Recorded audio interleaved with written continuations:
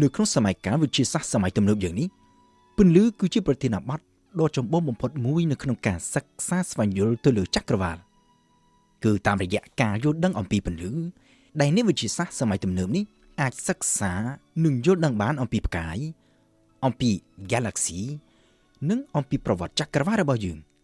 ហើយក្នុងពេលជាមួយគ្នាពន្លឺនេះក៏វាមានសារៈសំខាន់មិនអាចកាត់ផ្ដាច់បានផងដែរពីដំណើរជីវិតរស់នៅប្រចាំថ្ងៃ របស់មនុស្សជាតិយើងគឺពន្លឺដែលអាចឲ្យយើងមើលឃើញអ្វីអ្វីគ្រប់យ៉ាងដែលនៅជុំវិញខ្លួនយើងហើយបើគ្មានពន្លឺទេនោះអ្វីអ្វីប្រកាសជានឹងត្រូវងងឹតសូន្យសងដោយយើងនឹងមិនអាចមើលឃើញអ្វីទាំងអស់តាមក៏ពិតទៅពន្លឺមិនមែនត្រឹមតែជាអ្នកជួយបំភ្លឺឲ្យយើងមើលឃើញតែប៉ុណ្ណោះទេក៏ប៉ុន្តែគ្រប់អ្វីអ្វីទាំងអស់ដែលយើងមើលឃើញនៅជុំវិញខ្លួនយើងបើទោះបីជាមើលឃើញជារូបរាងអ្វីមួយ ឬក៏ជាពណ៌ណាមួយក៏ដោយ អ្វីដែលភ្នែករបស់យើងមើលឃើញនោះ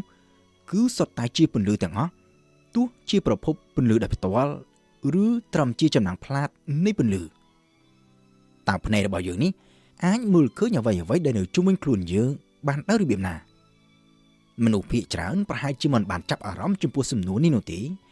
ដែលខ្លះអាចគិតថាវាគ្រាន់តែជារឿងធម្មតាដែលកើតឡើងទៅតាមលក្ខណៈធម្មជាតិតែប៉ុណ្ណោះក៏ប៉ុន្តែសំណួរមួយនេះ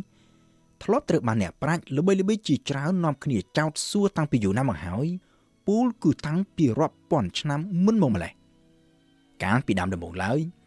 អ្នកប្រាជ្ញល្បីៗរបស់ក្រិចចាប់តាំងពីជិត500ឆ្នាំមុនគ្រិស្តសករាជដោយនៅក្នុងនោះក៏រួមមានទាំងផ្លាតុងផងដែរនាំគ្នាជឿថាយើងអាចមើលឃើញវត្ថុណាមួយបាន គឺដោយសារតែមានកាំរស្មីដែលចាំងចេញពីភ្នែករបស់យើង ទៅប៉ះលើវត្ថុនោះជំនឿនេះ ត្រូវបានគេយកធ្វើជាទ្រឹស្ដីគោលដែលមានឥទ្ធិពលអរិយពេលរហូតដល់ទៅរាប់ពាន់ឆ្នាំឯណោះហើយរហូតទាល់តែមកដល់សតវត្សទី10នៃគ្រិស្តសករាជទើបមានអ្នកប្រាជ្ញថ្មីមួយរូប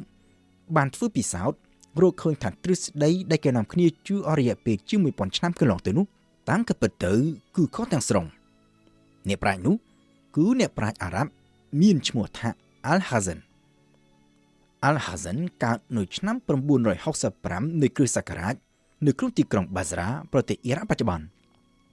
ជាទូទៅតែងតែត្រូវបានគេមើលរំលងក៏ប៉ុន្តែតាមក៏ពិតទៅ Al-Hazan នេះគឺជាអ្នកប្រាជ្ញដ៏សំខាន់មួយរូបនៅក្នុងយុគសម័យកាលដ៏រុងរឿងនៃអរិយធម៌អារ៉ាប់នៅក្នុងចន្លោះពីសតវត្សទី8ដល់សតវត្សទី13នៃគ្រិស្តសករាជក្រៅពីទ្រឹស្ដីខាងគណិតវិទ្យានិងតារាសាស្ត្រស្នាដៃដ៏ចម្បងដែល Al-Hazan បានបានសរទុកគឺ ទ្រឹស្ដីខាងរូបវិទ្យាអុបទិកនិងជាពិសេសគឺរបបកំហើញថ្មីស្ដីអំពីពន្លឺ Al-Hazan ក៏ដូចជាអ្នកប្រាជ្ញឬក៏អ្នកបានឆ្លងកាត់ការអប់រំជាច្រើនផ្សេងទៀតនៅក្នុងសម័យកាលនោះសុទ្ធតែបានដឹងអំពីទ្រឹស្ដីរបស់អ្នកប្រាជ្ញក្រិចសម័យបុរាណដែលថាយើងអាចមើលឃើញដោយសារតែមានកាមេរ៉ាស្មីចេញពីភ្នែករបស់យើង ជាជាងទទួលយកទ្រឹស្ដីដ៏ចំណាស់ជាង1000ឆ្នាំនេះ Al-Hazan បានពិចារណា និងចោទជាសំណួរថាប្រសិនបើអ្វីអ្វីពិតជាមានដំណើរការដូចជាទ្រឹស្ដីនេះមែនតើហេតុអ្វីបានជានៅពេលដែលគេសម្លឹងមើលទៅលើមេឃនៅពេលយប់ហើយបើគេបិទភ្នែកតាំងពីរួចហើយបើកមកវិញគេអាចមើលឃើញផ្កាយភ្លាមភ្លាមបានបើសិនជាយើងអាចមើលឃើញដោយសារតែកាមេរ៉ាស្មីដែលចេញពីភ្នែករបស់យើងមែនវាមានន័យថាកាមេរ៉ាស្មីនេះត្រូវធ្វើដំណើរចេញពីភ្នែកទៅដល់ផ្កាយរួចហើយត្រូវធ្វើដំណើរត្រឡប់មកវិញដើម្បីនាំយក ព័ត៌មានស្ដីពីរូបរាងនិងពណ៌របស់ផ្កាយទាំងនោះមកភ្នែករបស់យើងវិញដូច្នេះវាគឺជារឿងដែលមិនអាចទៅរួចដែលកាមេរ៉ាស្មីនេះអាចធ្វើដំណើររវាងភ្នែកនិងផ្កាយដ៏នៅសែនឆ្ងាយទាំងនោះបានភ្លាមភ្លាមក្នុងមួយប្រភេទភ្នែកបែបនេះនៅពេលនោះ Al-Hazan មិនត្រឹមតែចោទជាសំណួរចោលនោះទេក៏ប៉ុន្តែលោកបានចំណាយពេលយ៉ាងច្រើនធ្វើការសិក្សានិងពិសោធន៍ដើម្បីស្វែងរកចម្លើយ ហើយនៅក្នុងចំណោមនោះ មានការពិសោធន៍មួយដែលមានភាពល្បីល្បាញជាងគេហើយដែលជាចំណុចរបត់ដ៏សំខាន់នៅក្នុងការផ្លាស់ប្ដូរចំណេះដឹងរបស់យើងទៅលើពន្លឺក៏ដូចជាទៅលើយន្តការនៃចក្ខុវិញ្ញាណរបស់យើងនៅក្នុងការធ្វើពិសោធន៍នេះ Al-Hazan ស្ថិតនៅក្នុងបន្ទប់ងងឹតមួយដោយមានចោះប្រហោងតូចមួយនៅលើជញ្ជាំងនៅខាងក្រៅបន្ទប់ Al-Hazan បានចងព្យួរចង្កៀងចំនួន2ក្នុងកម្ពស់ខុសៗគ្នា គឺមួយលើ ហើយមួយក្រោមនៅខាងក្នុងបន្ទប់ Al-Hazan បានសង្កេតឃើញថាពន្លឺចេញពីចង្កៀងទាំងពីរនេះឆ្លងកាត់តាមប្រហោងជញ្ជាំងបង្កើតបានទៅជាចំណុចភ្លឺពីរដាច់ពីគ្នានៅលើចិញ្ចើមម្ខាងទៀតហើយពីទីតាំងនៃចង្គៀងមួយទៅចំណុចភ្លឺមួយវាបង្កើតបានជាខ្សែបន្ទាត់ត្រង់មួយកាត់តាមប្រហោងជញ្ជាំងបន្ថែមពីលើនេះទៅទៀត Al-Hazen ក៏បានធ្វើការកត់សម្គាល់ផងដែរថានៅពេលដែលគេយកក្រណាត់ទៅគ្របចង្គៀងណាមួយចំណុចភ្លឺនៅលើជញ្ជាំងដែលបំភ្លឺដល់ចង្គៀងនោះត្រូវរលុបបាត់ហើយនៅពេលដែលគេដកក្រណាត់ចេញមកវិញចំណុចភ្លឺនោះក៏លេចចេញរូបរាងមកវិញតាមរយៈការពិសោធន៍នេះ Al-Hazen បានរកឃើញភ័ស្តុតាងដ៏សំខាន់មួយ ដែលជាចំណុចចាប់ផ្ដើមឈានទៅអាចបញ្ជាក់ថាមនុស្សយើងមើលឃើញវត្ថុអ្វីមួយ មិនមែនដោយសារតែកាមេរ៉ាស្មីចេញពីភ្នែករបស់យើងទៅប៉ះវត្ថុនោះទេផ្ទុយទៅវិញ គឺពន្លឺដែលចេញពីវត្ថុនោះទៅវិញទេបើទោះបីជាវត្ថុនោះជាប្រភពពន្លឺដែលផ្ទាល់ឬក៏គ្រាន់តែទទួលពន្លឺពីប្រភពផ្សេងហើយចាំងផ្លាតពន្លឺចេញមកវិញក៏ដោយក៏ប៉ុន្តែគឺពន្លឺចេញពីវត្ថុនោះដែលធ្វើដំណើរក្នុងទិសដៅជាខ្សែបន្ទាត់ត្រង់មកប៉ះនឹងការភ្នែករបស់យើង ហើយអាចឲ្យយើងដឹងអំពីរូបរាងរបស់វា ទ្រឹស្ដីថ្មីនេះវាគឺជាគន្លឹះដ៏សំខាន់មួយនៅក្នុងការដោះស្រាយចម្ងល់របស់ Al-Hazen តាក់ទងទៅនឹងការមើលឃើញផ្កាយភ្លាមភ្លាមនៅពេលយប់ផ្ទុយពីទ្រឹស្ដីចាស់ដែលបន្សល់ទុកពីអ្នកប្រាជ្ញក្រិចសម័យបុរាណដែលទីមទីឲ្យមានកាមេរ៉ាស្មីចេញពីភ្នែករបស់យើង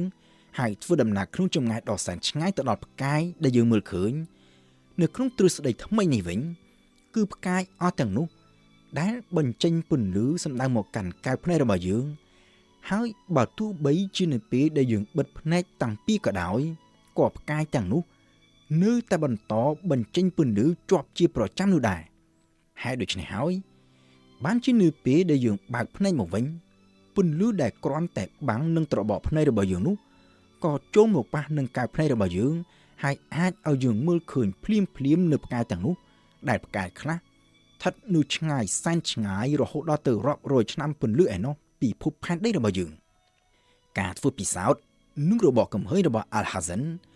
វាគឺជាចំណុចរបត់ដ៏សំខាន់មួយនៅក្នុងការយល់ដឹងរបស់មនុស្សទៅលើពន្លឺពីព្រោះថាចាប់តាំងពីពេលនោះមកក្រោយពីគេដឹងថាអ្វីដែលភ្នែកយើងមើលឃើញគឺសុទ្ធសឹងតែជាពន្លឺដែលចាំងចេញឬចាំងផ្លាតមកប៉ះនឹងការភ្នែករបស់យើងនោះមនុស្សយើងក៏ចាប់ផ្ដើមផ្ដោតអារម្មណ៍កាន់តែខ្លាំងឡើង នៅក្នុងការសិក្សាចង់ដឹងចង់យល់កាន់តែច្បាស់ថាតើពន្លឺនេះគឺជាអ្វីពិតប្រាកដហើយនៅក្នុងរយៈពេលជាច្រើនសតវត្សក្រោយមកទៀតអ្នកប្រាជ្ញជាច្រើនផ្សេងទៀតរាប់ចាប់តាំងពី Isaac Newton, William Herschel, Joseph von Fraunhofer, James Clerk Maxwell និងរហូតទៅដល់ Albert Einstein បានរកឃើញនូវទ្រឹស្ដីជាច្រើនជាបន្តបន្ទាប់ដែលអាចទំនីអាចកំបាំងបន្តិចម្ដងបន្តិចម្ដង នាំឲ្យយើងអាចយល់កាន់តែច្បាស់អំពីធម្មជាតិនៃពន្លឺ។